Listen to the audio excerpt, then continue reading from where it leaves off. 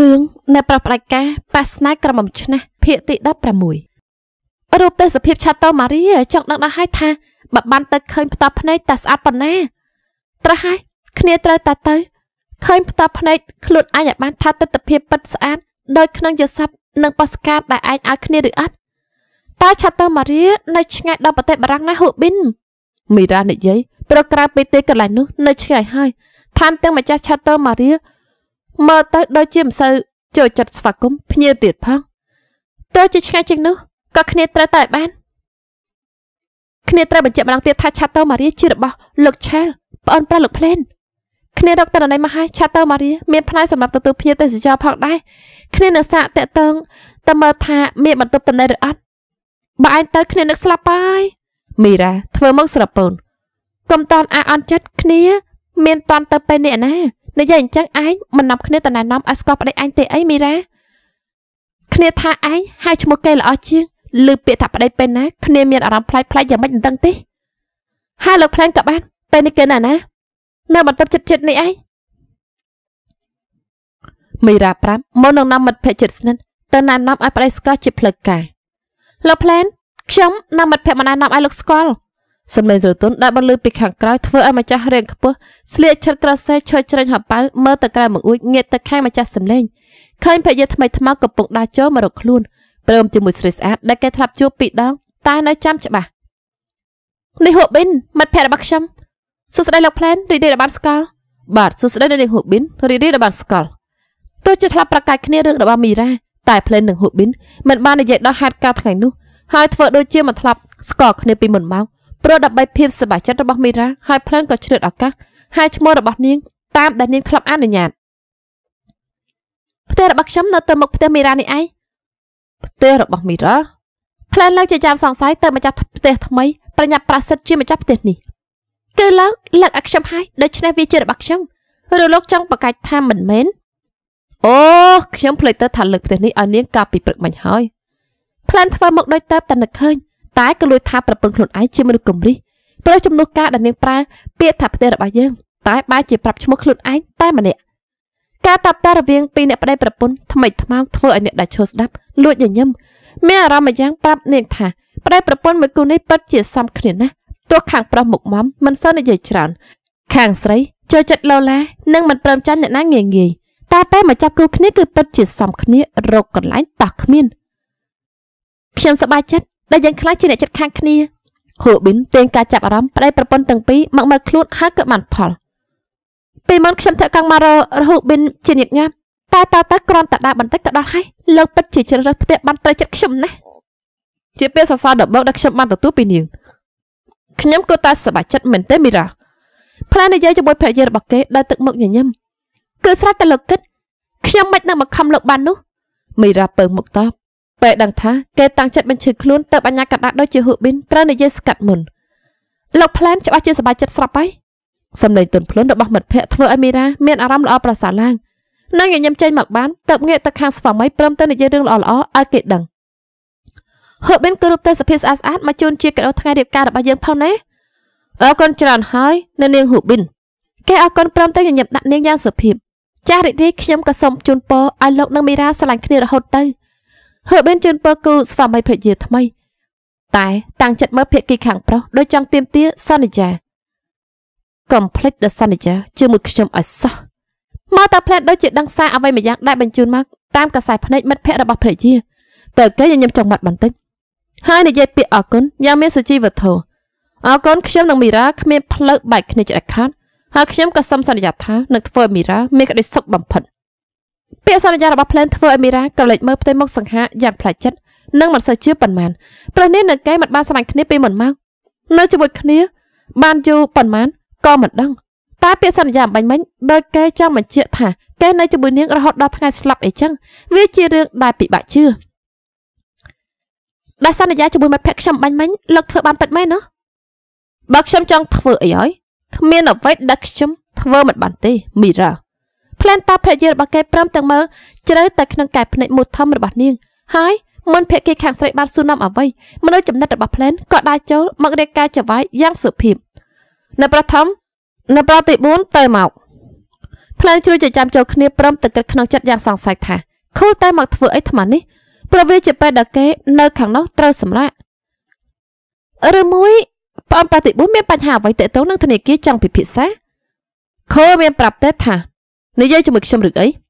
នៅប្រតិបត្តិប្រាប់ថារឿងសំខាន់តែមិនបានប្រាប់លំអិតទីគ្រីរាយការបន្ថែមអឺចាំខ្ញុំទៅនិយាយនៅបន្ទប់ធ្វើការបាទនៅប្រធមគ្រីតាព្រមទាំងអង្គក្បាលដាក់ចវាយយ៉ាងសុភាពបន្ទាប់មកក៏បែរដើរចេញទៅខ្ញុំសុំទៅនិយាយជាមួយប្អូនប្រសិនអញ្ជើញទៅនាងហ៊ូប៊ីនតាមសបាច់ចុះចាស់លោកផ្លែន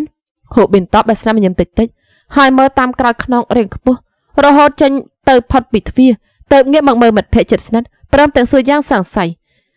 ស្រាប់តើតាលោកផ្លែនមានបងប្អូនប្រហែលអ្នកមីរ៉ាអំបាញ់មិញគ្នាក៏ជួបម្នាក់នៅមុខផ្ទះហើយមានបងប្អូនទាំងអស់5នាក់លោកផ្លែនជាបងប្រុសច្បងមីរ៉ាប្រាប់រឿងរ៉ាវរបស់សាច់ញាតិខាងប្តីឲ្យមិត្តភក្តិស្ដាប់ទ្រឹស្ទ្រោះហើយឯងជួបនៅប្រតិបត្តិហើយនៅគ្នាឃើញគេឈរកាច់រៀងនៅសួនច្បារមុខផ្ទះពេលនោះគ្នាហៅឲ្យគេជួយបាក់ទ្វារតែគេធ្វើដូចមិនលឺគ្នាមិនដែលជួបមនុស្សស្អីគ្មានទឹកចិត្តបែបហ្នឹងទេហើយក៏មិនគិតដែរថាក្នុងលោកនេះមានមនុស្សបែបហ្នឹង ធម្មតាហ៊ូប៊ីនជាមនុស្សមិនសូវចូលចិត្តនិយាយដើមគេក្រៅក្នុងទេតែហេតុការណ៍ដែលកើតឡើងនៅមុខផ្ទះធ្វើឲ្យនាងត្រូវរិះគន់រឹកពីរបស់ប្រុសម្នាក់នោះឲ្យមិត្តភក្តិស្ដាប់ដែលមិនក្រែងចិត្តឯងមិនមែនជាមនុស្សដំបងទេដែលអ្នកប្រតិបត្តិធ្វើរឹកឆ្មាក់ឆ្មៃដាក់គេចាត់តែខ្លួនឯងជាចវាយមិនមែនអ្នកបំរើដូច្នេះគេនឹងមិនធ្វើអ្វីឲ្យអ្នកណាក្រៅពីលោកយាយរបស់គេអូបើអញ្ចឹងគ្នាក៏ប្រហែលជាថាអីឲ្យគេមិនបានហើយ ព្រោះជាចរិតពីកំណត់របស់គេគ្នាស្មានថាគេស្អប់គ្នាតែម្នាក់ហើយតា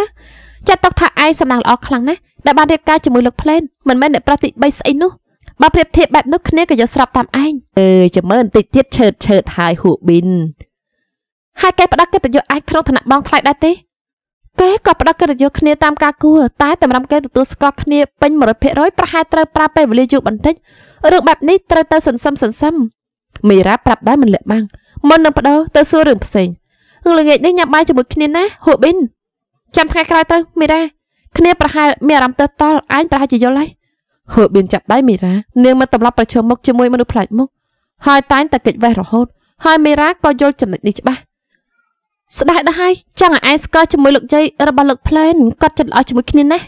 គ្នាទៅជម្រាបសួរគាត់សិនក៏បានអតតតែពេលនេះគាត់នៅម្នាក់ឯងអ្នកប្រតិបត្តិមិននៅទេយកប្រង ហឺប៊ីនមិនបដិសេធព្រោះនាងជាមនុស្សគោរពចាស់ទុំនឹងចេះដាក់ខ្លួនហើយដោយចរិតបែបនេះតើបធ្វើឲ្យចាស់ចាស់ស្រឡាញ់ចូលចិត្តនាងពេលដែលបាននិយាយជាមួយមិនលើកលែងសឹកបេតាលោកយាយម៉ារីផ្លានដាក់គូតអង្គុយលើកៅអីនៅបន្ទប់ធំដែលគេជ្រើសរើសជាបន្ទប់ធ្វើការទទួលទូរស័ព្ទពីមនុស្សចំណិតមកនិយាយហើយមើលទៅចំខ្សែមកខាងទៀតដូចជាដឹងទៅបនិយាយរាក់តាក់មុនសួស្ដីបងធំហឹមមានបញ្ហារឿងធនាគារចង់ពិភាក្សាបងមែនទេ តើបានជាទេមកថ្មនេះផ្លែសួរប្អូនប្រុសទី4ដែលជាម្ចាស់ធនាគារនៅអេស្ប៉ាញរឿងធនាគារកំពុងរលូនធម្មតាគ្មានបញ្ហាអ្វីគួរឲ្យបារម្ភទេឃើតាបងប្រុសដែលអារម្មណ៍ល្អហើយតែមកធ្វើអីក្រែងវាជាពេលសម្រាប់របស់ឯងតើខ្ញុំទៅទៅហាត់ប្រាណរួចមិនតាន់ចង់ចូលកេងថ្មនេះទេចម្លែកបង្កប់នេះរបស់ប្អូនប្រុសធ្វើឲ្យផ្លែនដឹកបានដោយមិនបាច់សួរហើយជឿជាក់ថាការហាត់ប្រាណដែលខូលឋាននោះច្បាស់ជាការហាត់ប្រាណលើក្រែមិនខាន តើជ្រាបពេលពីការសម្រាប់បាត់ហត់ពីកីឡាក្នុងមលុបតែមករំខាត់បងលេងមែនទេមានរំខានណាស់បងធំដែលខ្ញុំទេមកក៏ព្រោះនឹកនឹងចង់សម្ដែងភាពត្រេកអរជាមួយបងតែប៉ុណ្ណោះតែបានស្ដាប់ពាក្យអធិប្បាយរបស់ប្អូនប្រុសទី4ចិញ្ចាមរបស់ផ្លែនក៏ជ្រឿនចូលគ្នាដឹងបានដល់មិនបាច់សួរបញ្ជាក់ថាប្អូនប្រុសចូលរួមត្រេកអររឿងអីឆើតែតែប្រាប់ឯងមែនទេម៉ាស៊ីននេះខ្លាចជាមនុស្សមាត់វែងតាំងពីពេលណាបងចាខំមនុស្សហើយ នៅដល់តែទៅប្រាប់គ្រប់គ្នាថាបងរៀបការគឺលើកជ័យទៅវិញទីខូបដិសេធការចាប់ប្រកាន់របស់បងប្រុសនិងប្រាប់ប្រភពព័ត៌មានដែលមិនលាក់បាំងព្រោះដឹងថាបងប្រុសគ្មានផ្លូវបន្ទោសលើកយាយទេបើជាលោកយាយមិនអីទេស្រាប់តែគ្រប់គ្នាដឹងរឿងរបស់បងអស់ហើយមែនទេលោកយាយមិនលាក់បាំងពួកយើងទេមានតែបងទេដែលចិត្តអាក្រក់រៀបការមិនប្រាប់ពួកយើងមិនខៃភាពសំខាន់របស់ពួកយើងសោះ ឯងខ្លាចជាមនុស្សប៉ិនទៅចិត្តពីអង្កលម្យ៉ាងទៀតការដែលបងមានប្រពន្ធវាមិនមែនជារឿងស្លាប់រស់ស្អីទេប្រាប់ពេលណាក៏បានព្រោះរឿងបែបនេះលាក់បាំងមិនចិត្តស្រាប់ហើយខ្ញុំនឹងព្យាយាមយល់ទៅចោះសម័យថាខ្ញុំសម្ដែងភាពត្រេកអរជាមួយបងនៅបងថ្លៃរួចរាល់ហើយសម័យជីវិតគូរបស់បងរលូនទៅមុខរហូតណាពេលជូនពរបាយស្ដាប់ទៅយ៉ាងមិនដឹងទេខូលតើក៏អរគុណច្រើនចំណែករឿងក៏ដល់ថ្ងៃរៀបការខ្ញុំនឹងផ្ញើទៅឲ្យតាមក្រោយណាបងធំមិនបាច់ទេខូលមិនបាច់ផ្ញើអ្វីមកទាំងអស់ ផ្លែនហាមសម្លេងប្រកបប្រជាប្អូនប្រុសរបស់គេម្នាក់នេះទាំងល្បិចហើយប៉ិនលេសាយដូច្នេះកាដូដែលផ្ញើមកឲ្យវាច្បាស់ជាមិនធម្មតាទេត្រូវតែផ្ញើបងថោឲ្យខ្ញុំគ្រប់ស្រឡាញ់ទាំងមូលមិននឹងគ្មានកាដូឲ្យនោះខូចឈ្មោះម្ចាស់ធនាគារអស់ផ្លែនដកដង្ហើមចេញយ៉ាងធន់ត្រាន់ប្អូនប្រុសម្នាក់ម្នាក់របស់គេពិតជាមុខឌឺមិនចាញ់គ្នាហាមអ្វីក៏មិនស្ដាប់ស្ដាប់តែជាឆ្វេងចូលតែជាស្ដាំកាន់តែនិយាយកាន់តែផ្កើនពេលដឹងថាបញ្ឈប់ការតាំងចិត្តរបស់ប្អូនមិនបានក៏និយាយស្កាត់មុន ឲ្យចឹងក៏តាមចិត្តតែរបស់ដែលផ្ញើមកកុំឲ្យវាចម្លែកពេកតិចលោប្រពន្ធបងគៀងបេះដូងមិនចម្លែកទេបងធំដល់ពេលហាត់ប្រាំបន្តឲ្យខ្ញុំលាសិនហើយណានិយាយចាប់ក៏បាត់ទូរស័ព្ទផ្លែតបានតែក្រវិក្បាលហួសចិត្តចំពោះចរិតរបស់ប្អូនប្រុសម៉ោង8កន្លះយប់ពិធីចូលបន្ទប់សំដំណេកធម្មតាធម្មតាតែបរិយាកាសពេញដោយភាពជាគ្នាឯងក៏បញ្ចប់ទៅដោយរលូនហើយពេលដែលទ្វារបន្ទប់បិទមីរ៉ាក៏សុំខ្លួនចូលបន្ទប់ទឹកសំងំនៅក្នុងនោះជាងកន្លះម៉ោងលោកផ្លែន ឃើញឈុតកែរបស់ខ្ញុំទេសំឡេងសួរយ៉ាងងើឆ្ងល់ដែលមកលុយចេញពីបន្ទប់តែងខ្លួនក្រោយពេលរៀងស្ដៅចេញពីបន្ទប់ទឹកបានប៉ុន្មាននាទីដែលភ្ជួរនៅពេញទូមិនមែនជាឈុតកែរបស់នាងទេអីអ្នកដែលអង្គុយលើកៅអីតបដល់សំឡេងធម្មតាលាកស្នាមញញឹមអស់សំណាច់ក្រោមផ្ទៃមុខរៀបស្មើមេរ៉ាដាក់ចេញពីបន្ទប់តែងខ្លួនហើយមកឈរនៅមិនឆ្ងាយពីប្តីព្រមទាំងនិយាយដោយទឹកមុខក្រមើខ្ញុំចង់និយាយពីឈុតដែលយកមកពីផ្ទះនោះមិនមែនរបស់ថ្មីដែលលោកកំងឲ្យហាងយកមកឲ្យថ្ងៃនេះទេ បើនេះចង់និយាយពីឈុតកេងតុក្កតាដូរេម៉ុនពណ៌ស៊ីចម្ពូនិងឈុតកេងរូបតុក្កតាខ្លាឃ្មុំពណ៌ផ្ទៃមេឃនោះខ្ញុំឲ្យអ្នកបម្រើយកទៅបោះចោលធ្វើសម្រាប់ហើយភ្លើងងាយមកឡើងប្រាប់ភរិយាដូចជារឿងធម្មតាធ្វើឲ្យមីរ៉ាបាក់ភ្នែកធំធំមុននឹងឡូឡាលន់ពេញបន្ទប់បោះចោលខ្ញុំទិញមកថ្លៃណាស់នេះលោកយកទៅបោះចោលធ្វើអីរបរដែលទិញឲ្យថ្មីវាថ្លៃជាងនិងសំជាមួយនាងជាងឈុតចាស់ដូច្នេះស្លៀកឈុតដែលនៅក្នុងទូនឹងហើយកុំរឿងច្រើន ផ្លែតអធិប្បាយនិងគម្រាមឲ្យភរិយាស្ដាប់បង្គាប់តែនាងបាយចលឹកដៃច្រត់ចង្កេះហើយតមាត់បបេះលោកនឹងឯងដែលរឿងច្រើនគ្រាន់តែឈុតកេងក៏មានបញ្ហាហើយយ៉ាងម៉េចខ្ញុំស្លៀកឈុតកេងរូបតុក្កតាវាយ៉ាងម៉េចខ្ញុំចូលចិត្តមិនបានដែរតើខ្ញុំមិនចូលចិត្តមកហើយវាទៅភ្នែកនឹងគ្មានអារម្មណ៍សោះហេតុផលត្រង់ត្រង់របស់គេធ្វើឲ្យមុខនាងក្រហមដោយភាពខឹងហើយខ្មាស់នាងចង់ជំទាស់និងយកឈ្នះគេឲ្យបានតែពេលគិតដល់សម្ដីរបស់មិត្តភ័ក្តិដែលណែនាំមុននេះទៅនាងនិយាយសម្ដីទន់ តែឈុតដែលលោកកំងឲ្យខ្ញុំវាស្ដាងរហីដូចអត់ស្លៀកអីបើខ្ញុំហាមសួតអ្នកណាទទួលខុសត្រូវខ្ញុំធានាថានាងមិនកាត់រុកនឹងទេ តែបើកាត់ពិតមែនខ្ញុំទទួលខុសត្រូវនិយាយចាប់ក៏ក្រោកឡើងមុននឹងនិយាយបន្តខ្ញុំទៅងូតទឹកសិនហើយនិយាយចាប់គេក៏ដើរទៅបន្ទប់ទឹកដែលមានកែវភ្នែកមូលធំរបស់ភរិយាមើលតាមពីក្រោយធ្វើមាត់ជីបអើជីបអើចសង្ស័យជេបានណាស់អាខាងបញ្ជាមាននិយាយសំឡេងស្រាលស្រាល តែមនុស្សត្រជាវ័យដូចជាគេក៏បានលឺនេះនិយាយថាម៉េចមីរ៉ាភ្លើងងាកទៅសួររៀងស្ដាងអត់អីផងល្អណាស់អូហាមដាក់ចេញពីបន្ទប់សំដំណេកមិនថាក្នុងករណីណាក៏ដោយអមិញមិញប្រហែលលឺលើកយាយរបស់នាងប្រាប់ហើយណាខ្ញុំសុំពេលងូតទឹក20នាទីនាយចាប់កដាចូលបន្ទប់ទឹកទុកឲ្យមីរ៉ាសម្លក់តាមក្រោយមើលនឹងដើរទៅជ្រើសឈុតកេងក្នុងទើមកពាក់ ទៅជាមិនចូលចិត្តប្រវិស្ដាងតែក៏ត្រូវរងាប់ភាពខ្មាស់ពាក់វាដែលគ្មានផ្លូវជ្រើសរើសមីរ៉ាដើរចេញពីបន្ទប់តែងខ្លួនក្នុងឈុតកេងដែលប្តីទិញឲ្យតែពាក់អាវខ្លុំមួយចាំទៀតទោះវាមើលទៅស្អាតស្អាតតែក៏ល្អជាងពាក់តែឈុតស្ដាងដែលមើលឃើញធ្លុះដល់សាច់រាស្ដាងមកឈរនៅកណ្ដាលបន្ទប់មើលទៅទ្វារបន្ទប់ទឹកឆ្លាស់នឹងក្រេកេងដែលកសែតភ្នែកខ្លាចចង់ឲ្យដល់ព្រឹកឆាប់ឆាប់ដល់ហើយនាងរអ៊ូម្នាក់ឯងរងើរងើ មុននឹងដើរទៅរកសាឡុងអង្គុយលេងឃើញដបស្រាថ្លៃដែលឆេលជូនជាកាដូថ្ងៃរៀបការដាក់នៅលើតុក៏គិតដល់ហេតុការណ៍ពេលដែលកាត់ឡើងក្នុងបន្ទប់ឈុតលើសន្តាគាររបស់ផ្លែនថ្ងៃនោះស្រាអាចជួយយើងបានយ៉ាងហោចណាស់ក៏ធ្វើឲ្យភ្លេចភាពខ្មាស់គិតបានដូច្នេះក៏បាក់ឆ្នុកដបស្រាក្រហមហើយចាក់ដាក់កែវលើកមកក្រេបបន្តិចម្ដងបន្តិចម្ដងប្ររជាតិរបស់វាមិនធម្មតាក្រេបយូរយូរក៏អស់ពីកែវរួចហើយក៏ចាក់ថែមផឹកទៅជារឿយៗរហូតដៃធំរបស់មនុស្សម្នាក់ដណ្ដើមកែវពីក្នុងដៃនាងចេញទៅ ស្រាក្រហមគេឲ្យផឹកជាមួយសាច់នាងលែងផឹកបែបនេះ ធ្វើឲ្យស្វឹងលឿនណាស់ខ្ញុំតែតែផឹកបានបន្តិចទេផឹកដើម្បីឲ្យមានភាពក្លាហានតែប៉ុណ្ណោះមីរ៉ាមើលរឿងខ្ពស់ធំព្រមទាំងសារភាពសំឡេងដែលបង្អស់តិចតិចកែភ្នែកក្រហមហើយស្រឹមស្រឹមរបស់នាងធ្វើឲ្យផ្លិតដឹងថាភរិយាស្វឹងហើយហើយបើគេចេញពីបន្ទប់ទឹកយឺតជាងនេះបន្តិចនាងអាចស្វឹងជោគស្លាប់អត់ដឹងខ្លួនក៏ថាបានហើយពេលនេះ អារម្មណ៍នោះវាកាត់ឡើងជាមួយនាងហើយឬនៅគូតែកាត់ឡើងហើយតែដឹងព្រឹកខ្ញុំមិនសូវមានអារម្មណ៍ខ្លាចលោកប្រហែលទេបើអញ្ចឹងទឹកក្រែល្អជាងហើយបង្ហាញភាពខ្លាចរបស់នាងចេញមកឲ្យអស់ផ្លែលួចញញឹមខណៈបីរាងស្ដាងរបស់ប្រពន្ធដើរទៅរកក្រេពេលទៅដល់ក៏ដាក់ចុះថ្នមថ្នមដោះអាចឃ្លុំចេញពីរាងស្ដាងនៅសល់តែឈុតកេងស្ដាងរហៀសនិងឈុតខ្នឹងកែភ្នែកស្រឹមរបស់មីរ៉ាសម្លឹងរាងកាយរឹងមាំរបស់ប្តីដែលមានត្រឹមកន្សែងពោះគោរុំមួយកំណាត់ក្រោម ដើមត្រង់ដែលពេញដោយសាច់ដុំយ៉ាងឆ្លក់វង្វេងរូបភាពដែលបង្ហាញចំពោះមុខធ្វើឲ្យឈាមក្នុងរាងកាយនាងឡើងកម្ដៅហើយបន្ទាប់មកបេះដូងមីរ៉ាក៏លូតញាប់ពេលគេដាក់កន្សែងចេញបង្ហាញភាពរឹងមាំឲ្យនាងឃើញពេញពេញភ្នែកអត់លើកនាងចាប់ផ្ដើមដកដង្ហើមមកដល់គ្នាកែភ្នែកស្រទន់មើលរាងកាយរឹងមាំដោយរូបចម្លាក់របស់គេតាំងពីក្បាលរហូតមកឈប់ត្រង់ចំណុចយុទ្ធសាស្ត្ររបស់គេលែងមានភាពខ្លាចនៅក្នុងខ្លួនតែអារម្មណ៍ម្ចាំងដែលកាត់ឡើងតាមធម្មជាតិកំពុងដុតរោលឲ្យនាងកាត់អារម្មណ៍ចង់ ចង់មើលចង់ប៉ះចង់បង្ហាញភាពជាម្ចាស់ក៏ចាត់ការទៅខ្ញុំជារបស់នាងហើយផ្លែនបបួលភរិយាព្រមទាំងលាដៃទៅរឹកនាងកែភ្នែកចិញ្ចាចិញ្ចាធ្វើឲ្យនាងដាក់ដៃលើដៃធំដូចត្រូវមុនសណ្ដាំត្រូវគេទាញតែបន្តិចរឿងស្ដាងក៏ត្រឹបពីលើរាងកាយនៅនគររបស់ប្តីទៅហើយលោកផ្លែនមីរ៉ាហើយឈ្មោះគេថ្នមថ្នមផ្ទៃមុខរបស់នាងនិងគេនៅចិត្តគ្នាមួយចំអាមមានអារម្មណ៍ដល់ខ្យល់ដង្ហើមដែលជះប៉ះគ្នាទៅវិញទៅមកកែភ្នែកក៏ររៀលដោយភ្លើងតណ្ហា